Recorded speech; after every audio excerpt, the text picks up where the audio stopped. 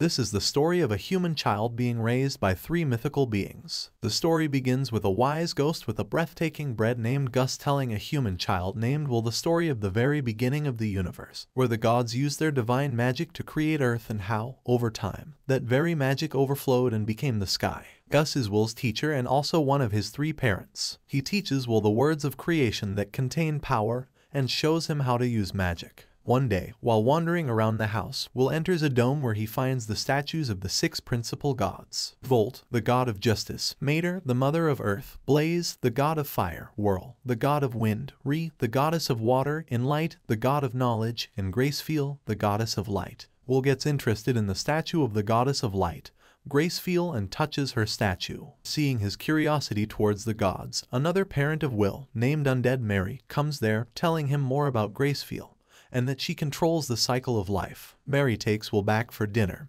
and there he meets with his third and final parent, Blood, who is an undead skeleton warrior. While they are eating dinner together, Blood decides that it's time to teach Will how to hunt. But Gus thinks that Will is too young for any physical training and should only learn magic for now. Will isn't interested in either magic or fighting. Rather, he wants to cook food, and asks Mary where she got the bread he never saw her cooking in an oven before. However, Mary keeps it a secret, and just like this one, the three parents of Will have kept many other secrets from him. For example, they haven't told him what this place is, why there are no other people here, or why they are undeads. But it's not like they are the only ones who are keeping secrets. Will has a secret too, and that is that he has been reincarnated in this world with his previous life's memories. When he was born in this world, he first saw his three undead parents right in front of his eyes. He was scared at first seeing such unpleasant beings, but then realized that they are actually not the books that should be judged by their covers. Anyway, once Will turned one and a half years old, he was blessed by Mary to finally get out of the temple and see the outside world for a vague moment. After seeing how beautiful the outside world is, Will remembered how he wasted his previous life by committing suicide, and so he decided to live his new life to the fullest. A few years pass living with the three undead in the temple, and Will grows to be an eight-year-old kid.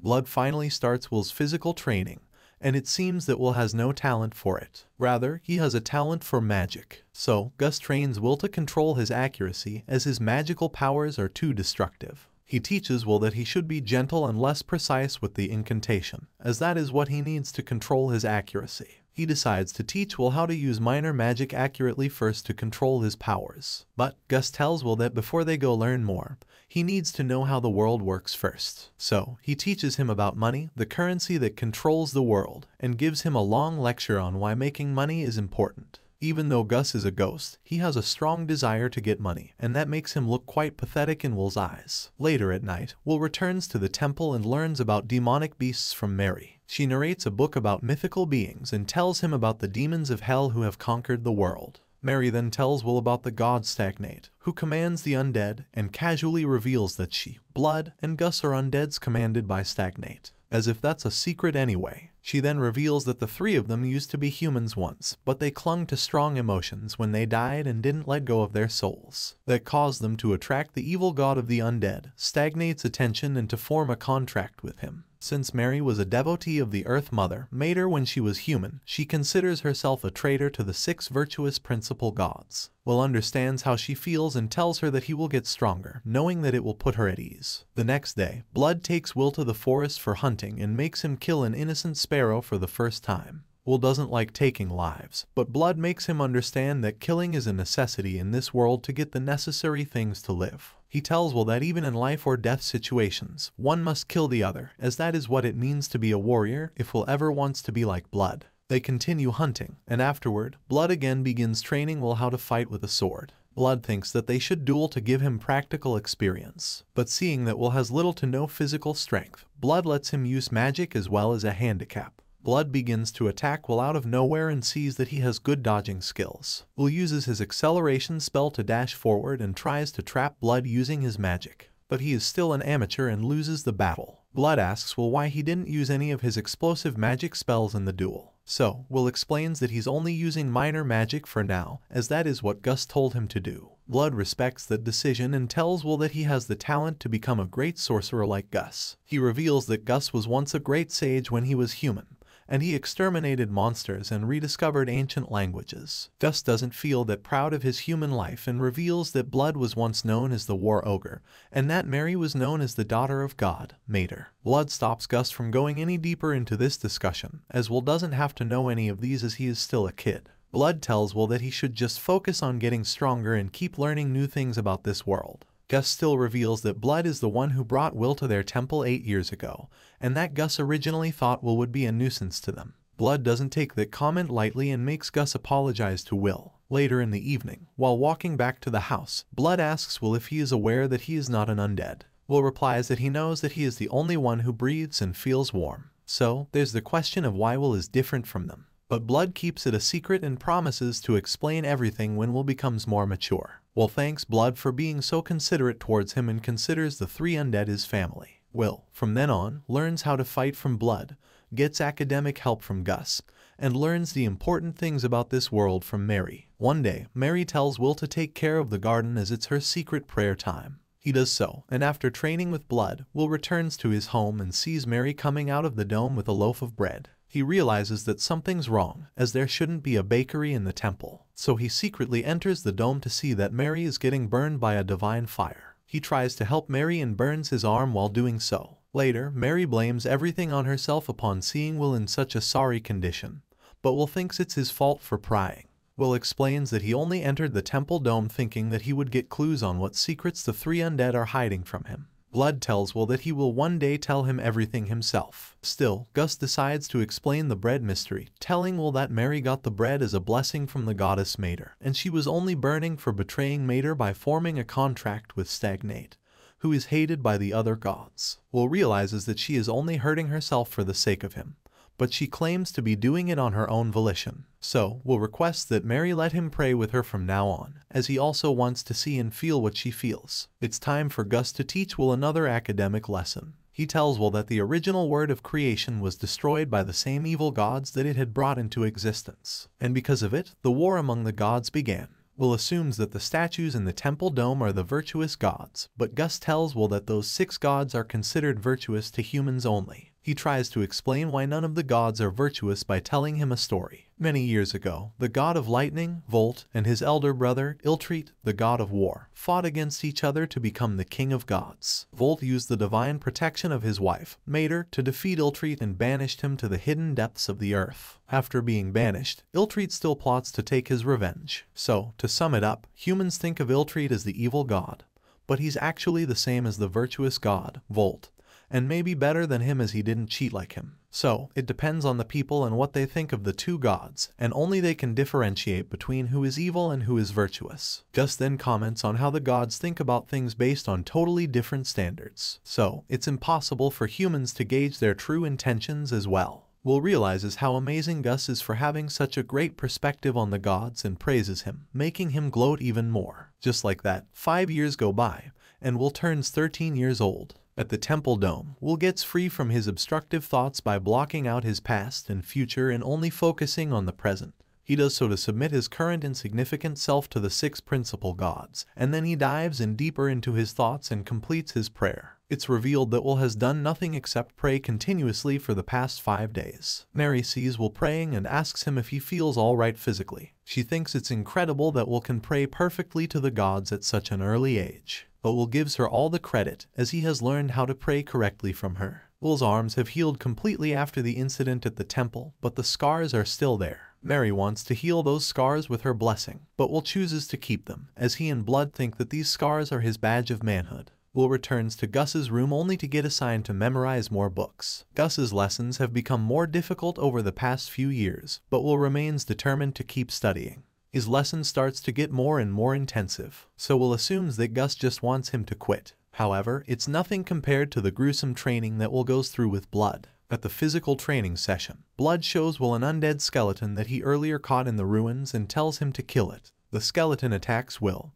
and he kills it with one slash of his sword. Blood gets impressed, as this was Will's first killing match, and decides to make Will try something harder. He takes Will to the nearby city ruins that he has always seen from the top of the hill. Will becomes excited as he finally gets the chance to see what's in this city. Blood takes Will to an underground secret passage, saying this place was once home to dwarfs and humans. But now, it's a danger zone filled with mindless, wandering undead. And that's the reason why Blood never let Will come here, as he was weak before. But now he thinks Will has enough strength to face any dangers here. They find the perfect spot, and Will rechecks if he has all of his gear with him. Blood tells Will that for this challenge, he needs to escape from this place alone, and that he will be waiting outside for him. Right after, Blood disappears without listening to a single word from Will. Will uses a magic spell called Lumen to light up his shield and looks for an exit. Hen then battles with an undead demon and defeats it with a single blow. But his sword breaks in the middle of the fight, so he takes the undead's weapon, which is a dwarven magic spear. He keeps walking towards the exit and runs into Gus. He asks Gus what he is doing here, but he doesn't reply and summons a golem to attack Will. Will defeats the golem by destroying the words of creation attached to it.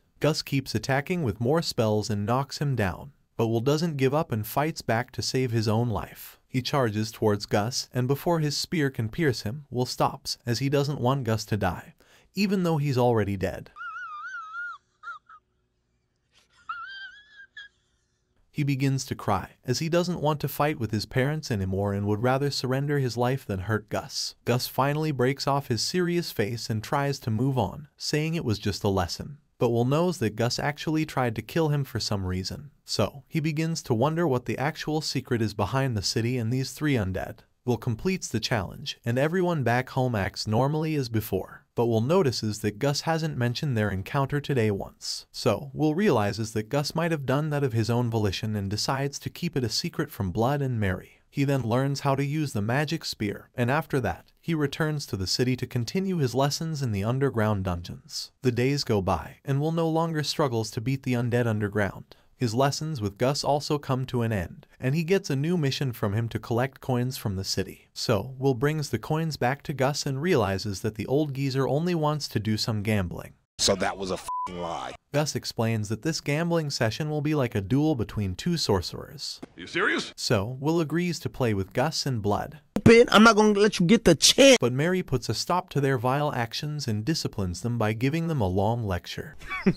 Women. Later, Gus tells Will that when he turns 15, he will have a coming-of-age ritual and predicts that Blood will challenge him to a one-on-one -on -one duel before that ritual. So, Gus requests that he lose the duel in a way that Blood doesn't notice. Will wants to know the reason why he has to lose, but Gus doesn't explain it to him and looks away. So, Will decides not to keep his request and goes away in anger. Mary and Blood approach Will, telling him that on his coming-of-age ritual, he needs to swear his oath to one of the gods and choose them as his guardian deities. But Will doesn't know which god he should follow, as there are too many of them. While training, Blood offers Will some booze as he will soon become an adult, which is at the age of 15, according to the rules of anime. They drink together, celebrating the occasion of Will becoming a man, and return home drunk. They are so wasted that they accidentally enter Mary's room while she is changing her clothes. Oh my! Realizing that they are both drunk, Mary slaps Will back to being sober and teaches Blood a proper lesson for being a bad father. The day finally comes for his battle with Blood. Will trains hard for the upcoming fight and remembers Gus's request, but he still remains determined to defeat Blood. Mary comes to Will with a proper armor set and helps him put it on. She asks him which god he will swear his oath to at his coming-of-age ritual, but Will decides to keep it a secret and announces to Mary that he will win against Blood today. They head to the open field, where he finds Blood waiting for him, but Will notices that Gus is nowhere to be seen. Blood explains the rules of their duel, and the gist of it is that it will only be a sword combat and one has to make the other one admit defeat. Their battle begins, and both draw out their weapons. They both trade slashes at each other, and Blood takes the upper hand with his overwhelming strength. Will realizes that he will lose this way if he takes one more solid hit from Blood, so he tries to sneak in a shot and gets close to Blood, but his movements are too predictable. He then desperately looks for a gap, jumping on Blood's greatsword, and proceeds to use his finishing move but before he can do so, Blood shoves him away and makes him admit defeat. Mary notices that Blood used his ribs to trap Will's sword and reveals that he used to do it when he was human too. Mary reveals that he could only do so because of her healing blessings. So, Will realizes that Mary and Blood must have been pretty close when they were humans. Anyway, they sit together, and Blood admits that even though Will lost, his attempt was commendable. Blood reveals that his and Will's fighting styles aren't the same. Blood reveals that he purposely made Will learn to move away so that he wouldn't become an imitation of him. He tells Will that only the basics of the technique matter and he should use all the things that he has learned along the way. Will understands and, for the first time, calls Mary and Blood his mother and father, which makes both of them happy. To mark Will's new independence, Blood gifts him his most powerful weapon, the Demon Blade named Overeater. Blood reveals that the sword has a special ability that lets the user recover his own life force over time. According to Blood, the sword is only demonic because it makes the user dependent on it, which ultimately makes them weak. But, seeing how wise Will is, Blood has faith in him that he can use this sword properly. Blood then gets up to finally unveil each and every secret that the three of them have kept all these years. He begins with a tale of the king among the demon kings who tried conquering the human continents. 200 years ago, the demon kings led an uprising, and their army invaded the continent of humans. These demons swarmed up a lot of human blood and flesh and offered it to their deity, the god of dimensions. Because of their offerings, the minions of Illtreat and the undeads of Stagnate also became active in the world. Blood mentions how unimaginably strong and terrifying the High King was and that even a single cell of his body could turn into an unlimited number of demon commanders. In other words, he made demons from his own flesh and blood. Blood also mentions that only blades could put a scratch on the High King. So he used this very sword, the Demon Blade, to cut himself and create his armies. The city near Will's home was taken by the High King to be made into his home. The great sage, Gus, came up with a plan to strike down the High King by invading underground and stealing his Demon Blade in the battle, figuring out that the High King's healing came from the Demon Blade. Gus used his great magic to wipe out all of the demons, and with the army gone, the High King was the only one left to beat. Mary used her blessing to heal every soldier, and Blood found a proper moment to steal his sword. But Blood failed to kill him as the High King revealed his true hideous form and started to crush the soldiers one after another. Blood lived longer as he had Gus and Mary's support and managed to wound the High King. Despite that, the High King was too strong for him. It became clear that the humans were bound to lose, so Gus and Mary placed a seal on the High King, sacrificing themselves in the midst of it. At that moment, the god Stagnate's echo descended and offered the three blessed humans, Blood, Mary, and Gus, to become undead and fight on his side. The three of them accepted his offer and became undead, similar to their characteristics. Stagnate cleared out the entire city of demons and turned everyone into undead. After that, the three of them became the guardians of the High King's seal, kept protecting the city for the next 200 years, and made the city hidden from everyone using Gus's magic which explains why there are no humans here. But 15 years ago, a swarm of demons brought a newborn baby Will here as a sacrifice to remove the seal of the High King. Blood defeated them and took Will in to raise him. Blood tells Will that the outside world of the city is still infested with demons, and that's why he was trained to become stronger to make the world a better place. Will understands everything and looks forward to heading to the human realm. Mary and Blood give Will their final goodbyes, as they know they no longer have any time. Stagnate's echo suddenly descends to take back their souls as their contracts have ended. Gus appears out of nowhere and attacks Stagnate to buy Will enough time to escape with Blood and Mary. Gus uses an immense amount of mana to attack the god of the undead and uses another spell to imprison him. He showcases how strong he is, even as an undead, and destroys Stagnate's echo. Will can't get himself to move a muscle after seeing such a terrifying being, so his three guardians come to comfort him. It seems like a happy ending, but Stagnate appears again and knocks out Gus, followed by Mary and Blood. Stagnate reveals that he had a body double, and that's why he is still alive. He commends Gus for overpowering him earlier, and promises to take his soul once he loses his attachment. Stagnate then comes to Will and tells him that these three undead have made a contract with him with the goal of only protecting the High King's seal, and that's their attachments to the world. However, if their goal changes, they have to give their souls to Stagnate. Since Mary and Blood's goals have changed to protecting Will now, they have to now give their souls to Stagnate. So he thanks Will for accidentally being on his side and begins to maniacally laugh. Will gets in despair knowing that he is at fault for his parents getting potentially killed.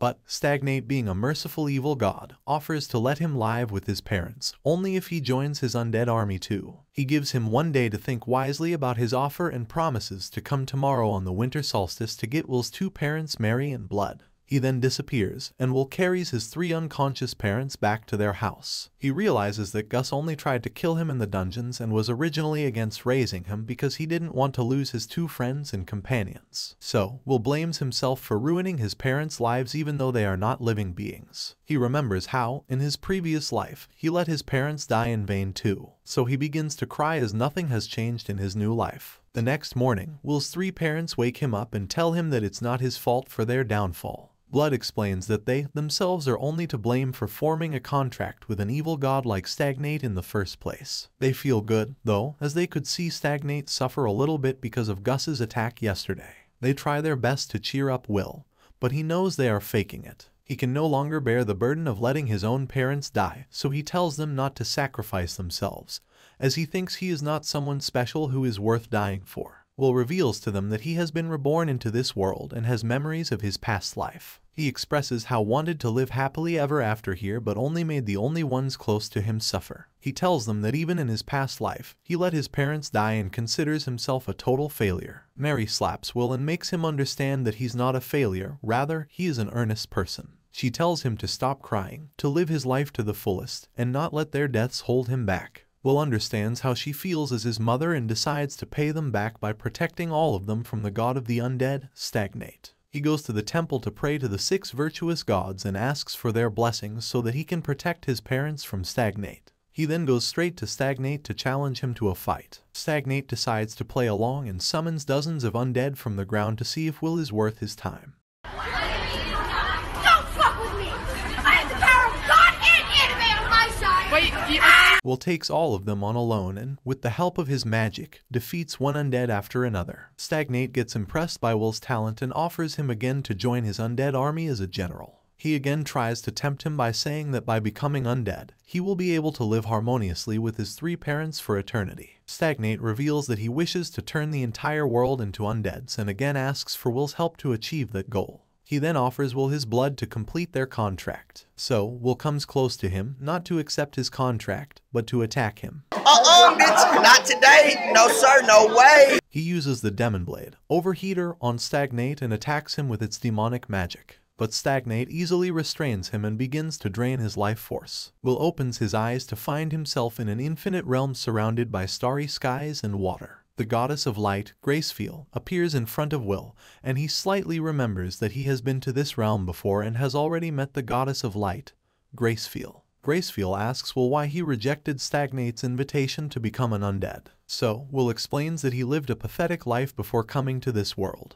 But now he has realized that being alive and not being dead aren't the same thing at all. In his previous life, he wasn't dead, but he felt that he wasn't alive either. So, he wants to live a good life in this world and die a good death too. That's why he refused Stagnate's offer to become an immortal. He tells Gracefeel that he wants to live and die protecting his family and requests her to bestow him her blessings to help him do so. Gracefeel offers her hand and offers herself to be his guardian deity. They make their contract and Will wakes up on the battlefield. He prays to Gracefeel again for her blessing and this time, a glowing stigmata surrounds him and bounds him with divine fire. He swears to Gracefeel to be her sword to banish evil and her hand to end the world's suffering. Stagnate realizes that Will has made a contract with the divine goddess Gracefeel and gets insulted that he got rejected. So he commands his undead soldiers to kill Will but Will, with his divine powers given by Gracefeel, eliminates all of Stagnate's undead at once, and then comes for Stagnate. Stagnate realizes that he cannot win, hides in the shadows and escapes the battlefield.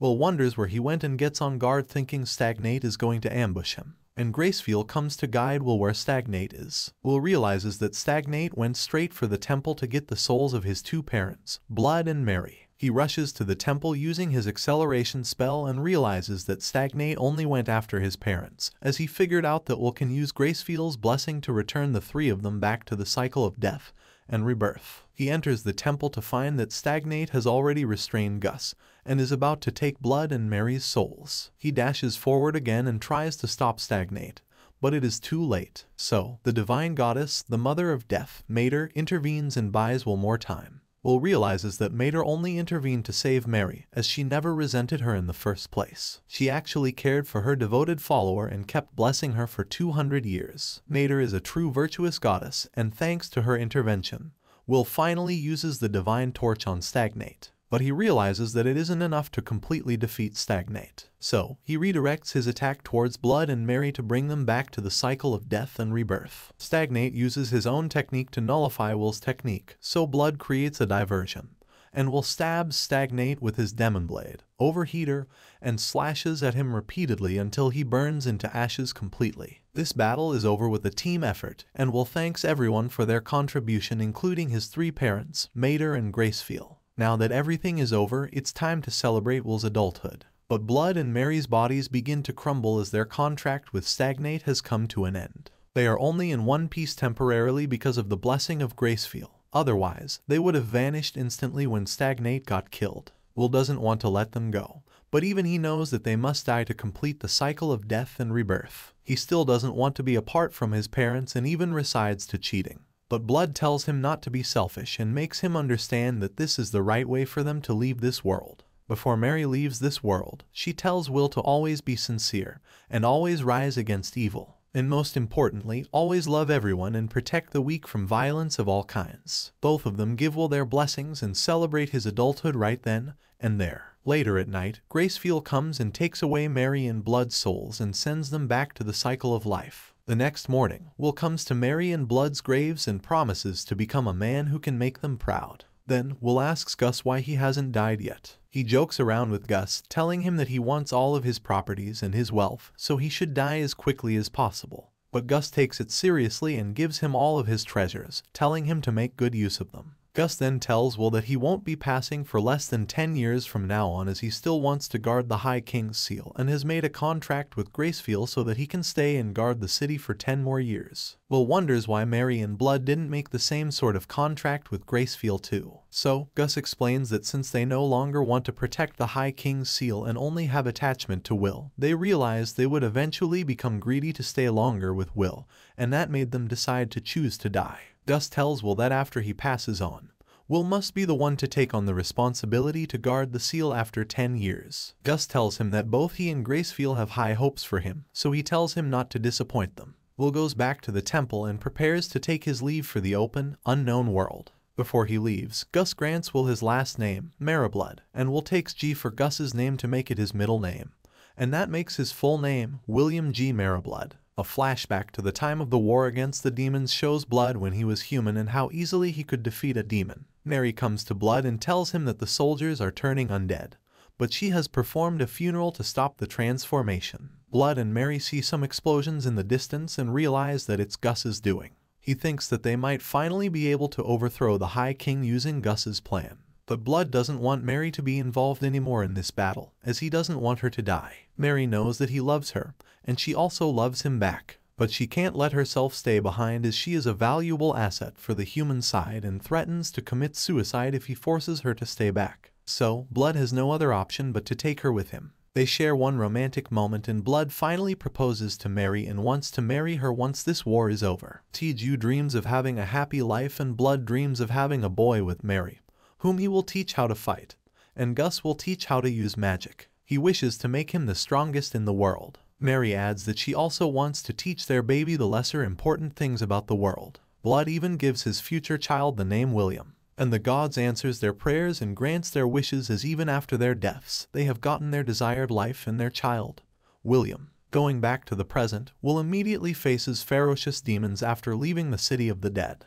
But since he is well trained by blood and is now a god killer, mere demons are no longer a match for him. So, after defeating the obstacles on the way, Will walks through the forest to his next unknown destination. He sees an abandoned structure while walking and realizes that no humans have ever touched this path in the last 200 years. Will's path to the unknown comes to an end as he finally reaches a city. He gets excited thinking that he will finally get to meet some fellow humans, but then sees that this one is in ruins too. He walks through the city and realizes that this city was also destroyed in the war 200 years ago. Will prays to Gracefeel so that she can bring peace and guidance to the souls that have been wandering in this land. She accepts his prayers and takes the wandering souls back to the cycle of death and rebirth. At night, Will makes a camp and hopes to reach a populated place soon as he is running out of rations. The next day, he walks downriver in the forest and encounters an already injured boar. A hunter named Meneldor comes behind him, thinking of him as an enemy for stealing his prey. So Will wonders how he will tell him that he is not a threat. Then he notices a mark on his cloak and realizes that Menel is an elf. So, Will speaks the elven language to prove that he is not a threat. But since Mary taught him the language from 200 years ago, his elvish language is considered ancient. Still, Meneldor somewhat understands him and takes off his cloak. Menel tells Will to give back his prey, but Will wants to have a part of the boar as he is the one who killed it. They agree to share it and skin the boar together. Will get some parts of the boar for himself because of Menel's generosity. Then the two cook the pork liver and Will shows how devoted he is to the gods by praying every other second. They enjoy eating the food together, and afterward, Will asks Menel to show him directions to the city. Meneldor becomes suspicious of Will and asks him where he is from. Will cannot reveal his true story, of course, so he tells Menel that he has come far from the south, and that it's a long story. Menel can't believe him, as there isn't anything in the south from here, so he assumes that Will is an adventurer. He tells Will to keep following the river downstream, and if he does, he will reach a small village in a couple of days. Menel takes his leave, but Will stops him as he wishes to visit his home. But Menel doesn't want to stay any longer near Will, and he forbids him from following him anymore. It's getting dark, so Menel summons fairies to bless him with light. Will remembers what Mary told him about the elves. Apparently, the elves are strong devotees of the goddess Fae and have a strong affinity with Fae's fairies. Before Menel leaves, he trades their names and tells Will that he wishes to never encounter him again. Will camps again at night and gets sad as he only wanted a friend. In his dreams, he gets a divine revelation from the goddess Gracefeel that Menel and his village are in danger. So, Will goes straight towards his village, following his footsteps using his magic, but sees that the village hasn't been attacked yet. So, he feels glad that he has reached this place in time. He notices some village guards approaching his way, and they get suddenly attacked. Will protects them using his shield and sees that the village is being raided. He sees arrows on the ground and realizes that these are Menel's arrows. He realizes that Menel isn't going to be a victim, rather, he is one of the raiders. The guards alert everyone in the village to the raid, so Menel falls back to avoid suspicion. But Will won't let him go so easily and uses his acceleration spell to catch up to Menel and the other raiders. Menel becomes irritated and uses his fairies to cause an earthquake, but Will uses his sheer force to stop the fairies and neutralizes Menel. He shows everyone how strong he is and captures every single one of them. The village guard, John, thanks Will for his help and tells him about the village. This village is in the Beast Woods area and falls under the rule of the Fertile Kingdom.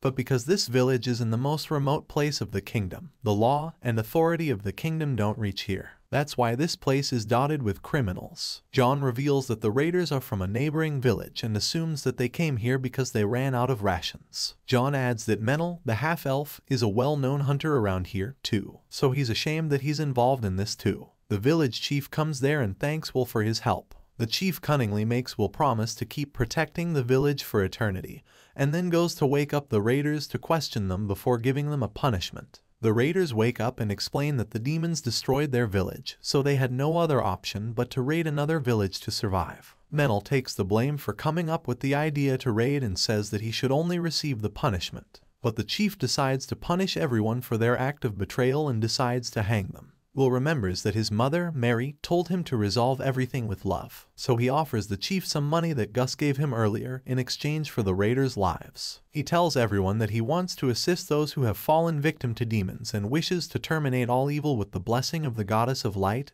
Gracefeel. He promises to fend off the demons for the villagers and wants Menel to accompany him too, as he is an excellent hunter. Will then graces the villagers with Gracefeel's blessings, so the chief agrees to release the raiders. Will then helps out the injured people from the neighboring village, who are taking shelter in a cave and helps them get moving to this village. Menel asks Will if he has any ulterior motive seeing his philanthropic act and Will explains that he only wants to help everyone and has no other desires. Seeing how kind Will is, Menel agrees to work for him on his journey to defeat the demons and the two take their leave from the village to go to the neighboring village to take out the demons. On their way in the forest, Will decides to set up camp on a nice little empty space. Menel prays to the fairies and with their help, he manipulates the surroundings to conceal their location. Later, while eating dinner, Menel reminds Will that he will only be leading him to the demon village tomorrow and will not fight them by his side, because he doesn't want to die. Will is fine with that, as he is strong enough to take on all the demons on his own.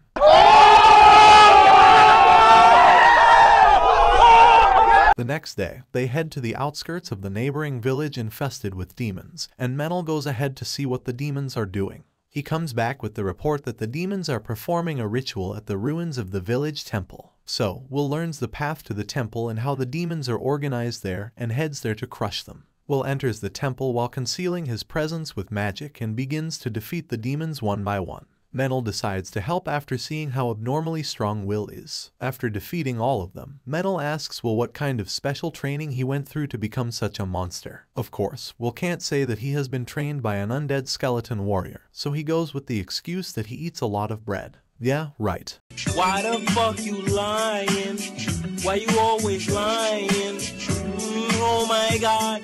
Stop fucking lying. Menel knows that he is lying, but he lets it go. Then, he and Will go to look for any survivors at the village and find an undead child crushed under a building. The child calls for Menel's help, calling him Big Brother, but Menel gets scared seeing his condition. So, Will picks up the child and comforts him, saying everything will be fine. He knows that the child has clung on to life, which has caused his sorry condition, and so he prays to the goddess Gracefeel to guide this soul back to the cycle of death and rebirth. Menel realizes that Will is actually a kind person who cares for people, so he apologizes to Will for not taking him seriously before. Will continues to exorcise the people that have turned into undeads and prays to Gracefeel to send them to a better place. They exterminate all the demons, and Menel mentions that there's one more place left to look. He takes Will in front of his grandma, Marple's house and calls her outside. Marple also has become an undead ghost, and seeing her perfect form, Will realizes that her soul must be extremely tough. Will decides to eliminate her right away, thinking she might be a threat. But Marple explains to him that he doesn't need to do anything as she is still senile. Menel is glad that she is, and he introduces Will to her. He tells her that Will is a priest who can return lost souls to the cycle of death and rebirth. So he tells her to move on from this life already. But Marple ignores him and tells him that he shouldn't have stolen from the neighboring village. But Menel explains that he had no other way but to help his people,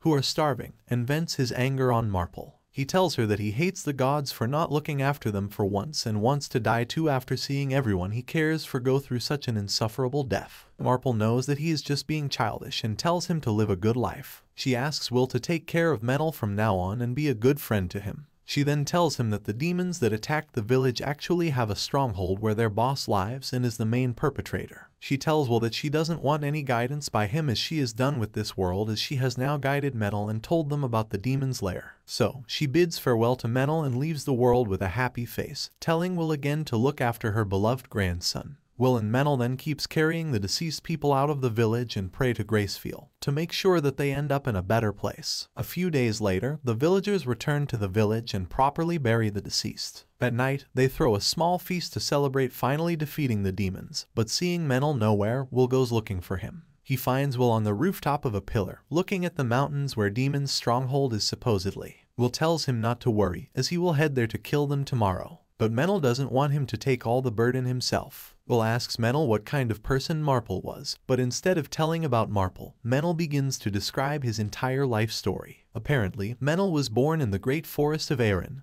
where elves live. His mother was a woman of insatiable curiosity, so she went out on a journey as a teenager and came back pregnant with a stranger's child. When she gave birth to him, she died immediately for unknown reason. The elves saw that Menel was a half-elf, and they didn't accept him. So, Menel felt like an outcast and so he fled from the elven forest. He then became an adventurer and made his way to this continent to look for treasures in the ruins. But a member of his adventure party betrayed everyone over some gold and poisoned them. Menel killed him with his own hands, and being an elf, he had more resistance to the poison than the humans. He ended up falling unconscious in front of this very village, and Marple found him. She took him in, helped him get better, and treated him as her son. Because of her kindness towards him, he finally found a place to belong. But all of that was taken away in seconds because of the demons. But now he has found another purpose to live for the sake of Marple and asks Will to lend him the divine protection of the goddess of light, Gracefeel. Menel chooses Gracefeel as his guardian deity, using Will as a medium, and they head back to the village to enjoy the feast. The next day, the villagers decide to go to White Sails to get materials to rebuild their village. Will, of course, have no knowledge about anything in this world. So, Menel gives him a proper explanation and begins with the history of this place first. This place is the remote southern continent, Southmark, and 200 years ago, this continent was engulfed by demons. Most of the humans here abandoned this continent and crossed the sea to the grasslands in the north. After that, they cultivated the grasslands, and White Sails is now the port town of Southmark that allows the ships to travel to grasslands. He then tells Will that people with divine revelations go there too, and he adds that his goddess, Gracefeel used to have a lot of devoted followers on the southern continent but her followers became extinct after the war against demons, and only a few of them are left in the grasslands. They are done with the history lesson as they need to fix the village first. Will wants to loot the ruins to help the village out with more money, and begins to head there with Menel. On their way, they see two individuals being chased by a giant gorilla. Will steps up to help them out and makes strong eye contact that scares off the gorilla, and it retreats. The little girl gets excited upon seeing such a strong man and introduces herself as Robina Goodfellow. She tells Will that she is a troubadour. In other words, she sings and dances. And the person with her is a hawker named Tonio. Tonio explains that he and B were on their way back to White Sails, his home, when they encountered the gorilla. All of them introduce themselves to each other, and Will mentions that he's a devoted follower and a priest of the goddess of light, Gracefeel. B gets amazed because finding a priest of a lesser-known god is very rare. Menel adds that not only is Will a priest but also a highly skilled warrior who can take on anything. After the introduction, Tonio tells them that they were originally with their escort team to White Sails, but all of them ran away with the inventory after encountering the giant gorilla. So, Menel offers the two of them to escort them as a favor for letting them buy some cows and horses from White Sails in exchange. Tonio agrees to the offer happily, so Will and Menel change their plans of looting the ruins and decides to escort the two of them. They begin to walk towards the next town with them. After they enter the town, B sings for the citizens, and in the meantime, Tonio tries to do some business as he is a hawker. Tonio comes with a proposal to Will and tells him to heal the townspeople using his blessing. Will agrees and begins healing random people, asking them to buy something from Tonio in exchange only if they want to. Menel realizes what a cunning businessman Tonio is and commends him for that. Hey, that's pretty good. After the small business at the town, the four of them continue to pass through several villages and earn money in a similar way, making their way to the north until they reach the wheat road. They decide to set up camp in a hut for the night, and B offers them to sing them a folk epic about the High King and the three heroes who defeated him, Blood, Mary, and Gus. Will gets emotional as he listens to B sing about the heroic acts of his three parents and learns more about them through the song. B ends the song by narrating a story of the three heroes encountering a wyvern when they visited a remote village. Once upon a time, an elf girl was about to be sacrificed to the wyvern dragon by the villagers to get mercy, and Mary and Blood opposed the villagers' plan. But they couldn't just fight the wyvern for free. So, a kid came and gave them his entire life savings for them to kill it. The kid even wanted to sell his body as payment.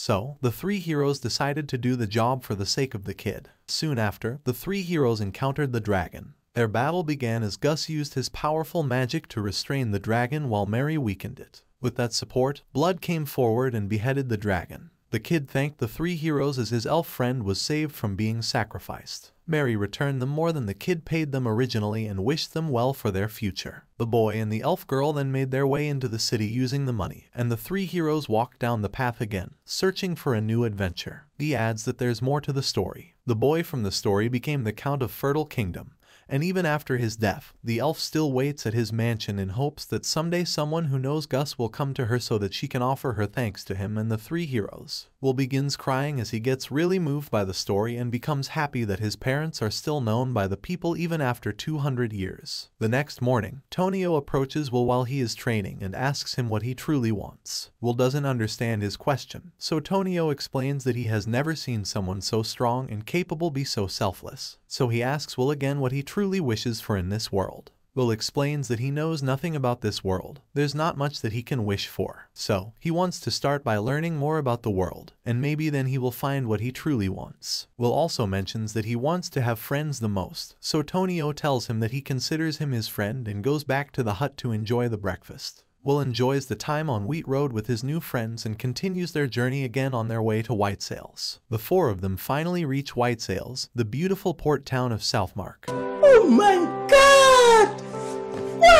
Will enters the city and becomes quite shocked that there are neither gate guards nor any inspectors to inspect the travelers, considering it's a major city. Tonio explains that it's because of the policy of His Excellence, Ethel, the city's ruler. Goods enter this city by boats and ships, and then they are distributed throughout Southmark. So, if all the goods get checked at the gate, it would make the city very busy. So, Ethel imposed docking fees for ships and rental fees for companies setting up shop here to make money for the city and kept everything as unrestricted as possible. Will understands that Ethel's top priority is the economy, which explains why this city is so advanced. These stops the boring talk and takes Will to the city market to see various items and accessories. B then shows Will how much the city has advanced, and it's much like the 1900 seconds. The city even has a public bathhouse, so Will excitedly heads there with the others to enjoy it, and even enters the sauna, which is heated by magic. After the bath, Will and the others go to a restaurant to try out the local delicacies. Will feels great, as this is the first time in this world he has tasted such amazing delicacies.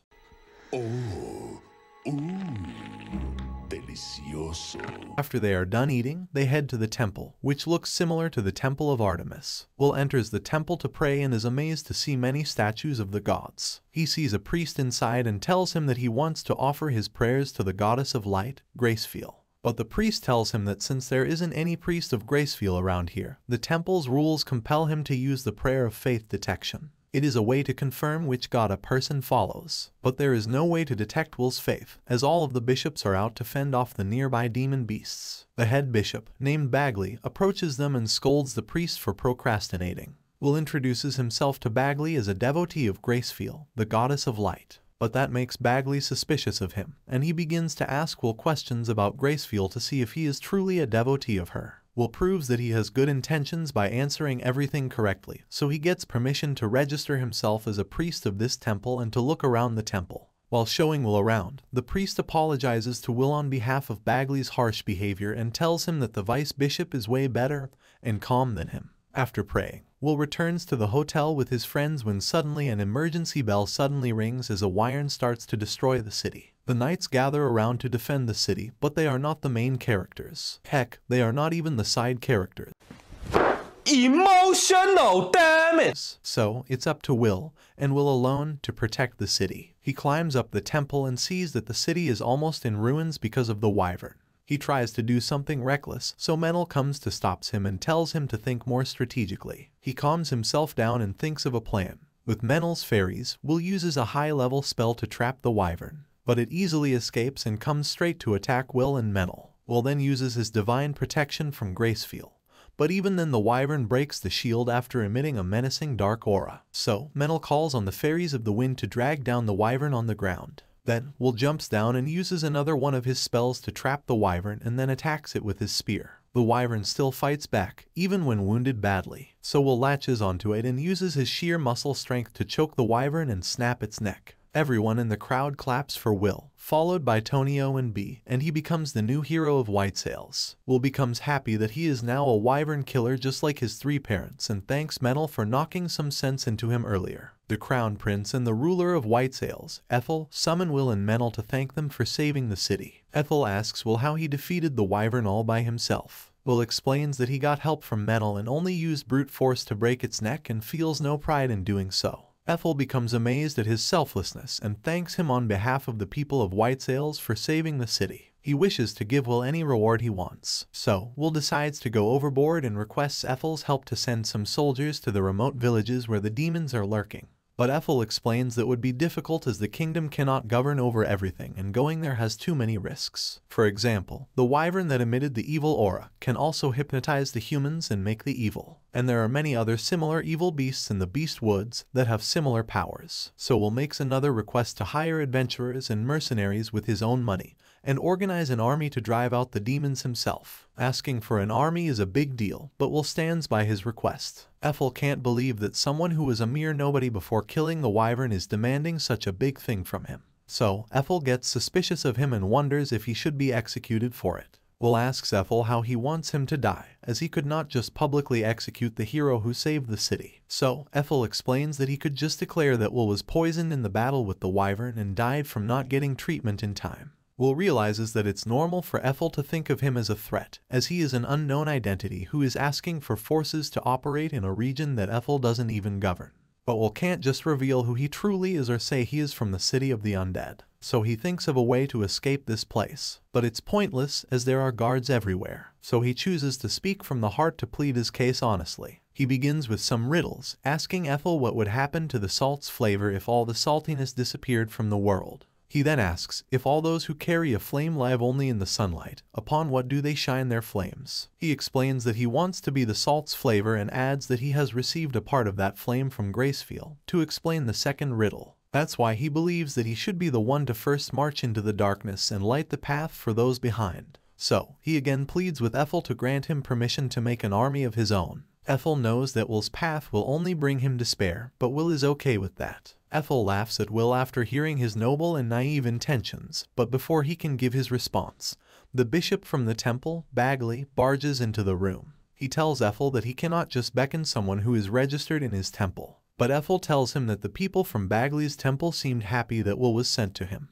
Bagley thinks that Ethel wants to recruit him. So, Ethel clears up his misunderstandings and reveals that Will, here, wants his own private army as he wants to save the people of Beast Woods. Ethel finds Will's insolence quite amusing and decides to appoint him as one of his knights, more specifically, a paladin. Bagley opposes the idea because Will belongs to the temple as he registered himself as a priest there. But Ethel explains that if Will becomes a paladin, he can work for both the temple and for the ruler, so it's a win-win for both of them. So Bagley decides to think it over and takes his leave with Will and Menel. On their way back to the temple, Bagley gets into an heated argument with Menel over nothing because of his short temper. So his daughter, Anna, apologizes to Will for Bagley's rude behavior. Anna introduces herself as Bagley's daughter and explains that she is not Bagley's blood-related daughter, rather, she was adopted by him. Will understands that Bagley actually has a soft side inside him and realizes that he only came to Ethel's palace to save him from any danger. So he thanks Bagley for his help, but Bagley doesn't take any credit. Will reveals to Bagley that he doesn't know of the modern rules of praying and slightly reveals that he only knows the holy practices from 200 years ago. So Bagley decides to assign him a teacher. Later, Will goes to the temple and sees Bagley secretly praying to his god. Will asks Bagley if he earned a high level of divine protection, as he doesn't reveal who he prays to or how he prays. So, Bagley explains that a prayer should be private, so he chooses to keep it private even as the head of the temple. Bagley explains that he cannot let other people see his blessings as he has entrusted the vice bishop with that task. Will realizes that even though Bagley looks like a greedy, angry monk from the outside, he's actually a talented, smart man. So, he respects Bagley's suspicious secret. Bagley tells Will to reject Ethel's offer of being a paladin as he is still a novice, but Will wants to achieve something to prove himself worthy of being Gracefeel's priest, so he can't let go of this opportunity. Bagley calls him a dimwit for his dedication to Gracefield and approves his decision. Will and Menel go to a pub and see some tough-looking warriors hanging out there, so he wonders if he should recruit someone like them for his army. Will then puts up a quest on the bounty board that asks adventurers to explore Beast Woods and execute the demons. But no one agrees to take the quest as the pay is too low, considering how dangerous the task is. But one brave adventurer named Rastov stands out in Will's eyes and gets a similar aura of his father, blood, coming from him. So he tells the brave adventurer, Rastov, that he wishes to subjugate the demon boss. That grabs his attention, and he decides to take the quest. Seeing that the big man in the pub has taken the dangerous quest, the others also get the courage to join the quest too. Later at night, Will studies and thinks to himself about what he should do at the upcoming ceremony. The ceremony will be a happy event to give work to people who lost their homes and jobs in the Wyvern attack. Meanwhile, B writes an epic about Will and his battle against Wyvern and sings it aloud in front of him. So, Will gets embarrassed. Will remembers that he had a deal with Tonio, so he asks him to give him injured cows instead for less money because he is broke and can use his healing magic to treat them. Tonio decides to have a serious business chat, which intimidates Will. Menel thinks that he should get some negotiation experience, as he will also need to negotiate with Rastov and the other adventurers later. Bee recognizes Rastov's name and wishes to talk with him, so he takes her with him to the pub and introduces her to Rastov. It seems that they are already well acquainted and immediately begin arguing over nothing, like old friends. Apparently, Bee thinks Rastov's adventurers are ambiguous because he takes any job with big threats and easily completes it. Bee begins to tell Will the entire history of Rastov and takes pride in knowing everything about him. She then suddenly mentions that Will is also strong, like Rastov, so she proposes that both of them battle each other in a duel. Rastov gets interested, so Will promises to do so once they complete their quest of Beast Woods. Soon after, the fallen city gets rebuilt, and Ethel declares Will his knight at the temple. Will swears his loyalty to Ethel and performs the ritual to prove his fealty. The vice bishop then declares Will a paladin and blesses him. So, he finally becomes the faraway paladin. The end. No, just kidding. Got him! Got him!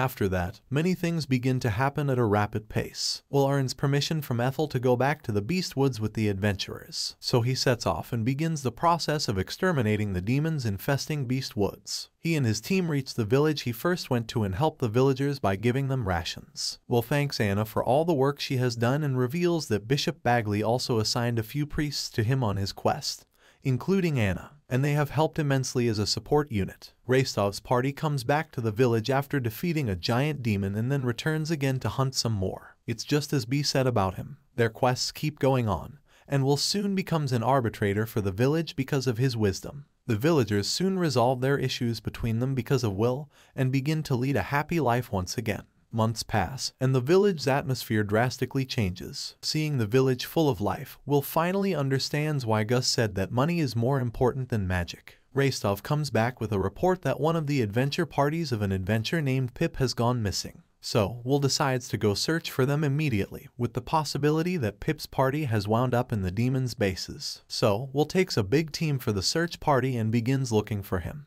Menel suddenly thanks Will for being so considerate and caring towards him all this time, which makes things awkward. They move on and finally find Pip's party beaten to death by possibly a giant demon beast. Seeing how big the footprints are, Menel notices a trail of stuff going towards the valley. Will and the team follow the trail, but they realize that this is a trap. It's too late to retreat, so Will blesses his team with divine protection from Gracefeel and prepares to attack the demons. But a gigantic demon chimera beast ambushes everyone from behind and proceeds to burn Menel. Will wonders where he went wrong and loses himself in despair. That's when his demon blade, Overeater, takes over him and helps him destroy all of the demons while healing him constantly. Will defeats all the demons but feels lost in the end as his friend Menel is on the verge of dying. Will begs for Gracefeel's blessings and starts healing Menel, but he has lost too much mana because of using the Demon Blade and loses his consciousness before fully healing Menel. He regains consciousness back in the village and learns from Rastov that the Chimera Beast fled from the valley. He adds that Menel's still alive, but he hasn't woken up yet. So, Will wants to help him, but he himself is not in a condition to move, so he has to take a rest. He blames himself for the failed expedition and overhears a conversation among the adventurers about how they think of him as a monster. That breaks poor Will's heart. He decides to go to Menel even in his weak state. On the way, he runs into Tonio and B, but he is in no mood for a chit-chat and keeps walking in the rain. He enters Menel's room and sees that his whole body is bandaged up, including his eyes. Will blames everything on himself again and requests that all of the gods take pity on him and heal him. He apologizes to Menel for trying to make him his friend and comrade, thinking he would find someone like his three parents did. But he now knows he forced Menel to be his friend, pushed him into unnecessary danger, and almost got him killed. Gracefeel, goddess of light, descends in front of Will. So, Will tells her not to worry and promises to solve everything in the world in his world. Will walks away from the village silently while being drenched in the heavy rain. Menel finally regains consciousness and comes to stop Will. He asks Will where he is headed off to, so Will explains that he is going to kill the demon beasts.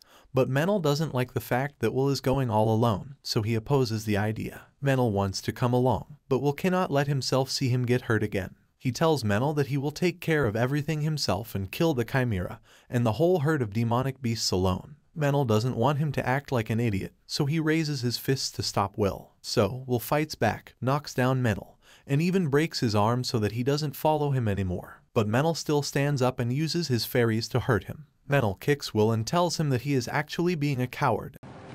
Are you stupid or something? And not a hero but Will has become emotionally unstable and doesn't want to hear any reasoning. So, Menel reminds him that they are friends, and friends stick together even when one becomes mentally ill. So, he can't let himself abandon his friend. Will gets emotional again and finally surrenders himself. They shake hands once again, and Will apologizes for losing control of his emotions. They reconcile, exchange dumb jokes, and laugh together. Will gets back to the village and sees that everyone is worried for him as he is nowhere to be found. Will explains everything to them honestly and apologizes for being immature. Will and Menel tell Rastov that they want a rematch with the Chimera Beast and seek the adventurer's help to do so. Will gives them information about chimeras. Apparently, chimeras aren't born naturally. Thanks for telling us that, genius.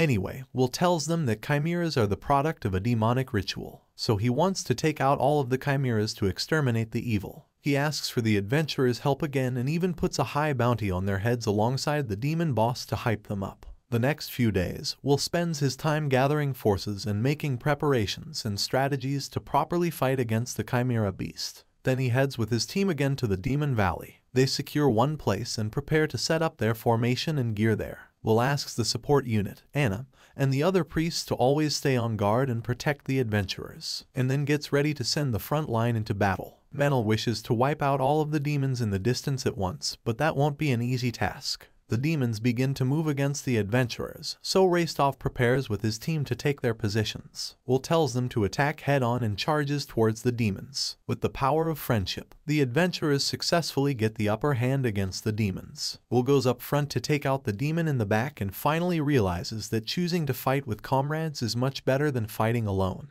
On the other side, Ethel and the bishop, Bagley, have a conversation in his chambers. Ethel wonders if Will will be able to eliminate the demon beast and end the campaign with success. Bagley says that if Will fails, then he will no longer be worthy of their support. Speaking of support, Ethel asks Bagley if he actually sent his daughter, Anna, and many other priests of his temple to support Will. But Bagley doesn't want to express that he wants to help Will, and he makes up an excuse saying those priests are useless. Back in the Beast Woods, Will and his team defeat the hordes of demons and end up in front of an abandoned monastery. Will and Menel are the first ones to end up here, so they put their guards up to see if there are any traps. Will realizes something and uses his magic to expose the presence of the gigantic chimera standing right in front of them. Apparently, the Chimera thought it would be a great idea to ambush the two of them using invisibility. So, Menel realizes that it's actually pretty smart. Will asks the Chimera if it's after the High King's seal, and it gets shocked that Will knows about something like that. It asks Will if he is a warrior sent by one of the gods, but Will doesn't answer. He is now sure of the fact that the Chimera is after the High King's seal, so he has to defeat it. Will knows that if the demons take control of the seal, they will undo it, and disaster will ravage the world once again.